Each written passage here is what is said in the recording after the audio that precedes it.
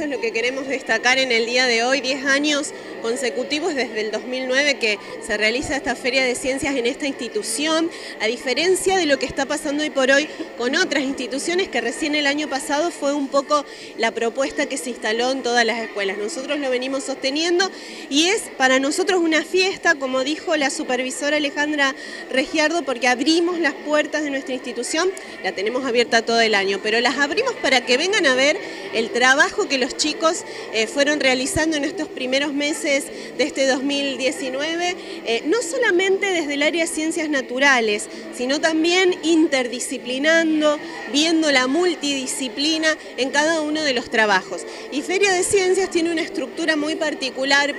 Eh, nosotros este año como lema tenemos ¿por qué? ¿por qué?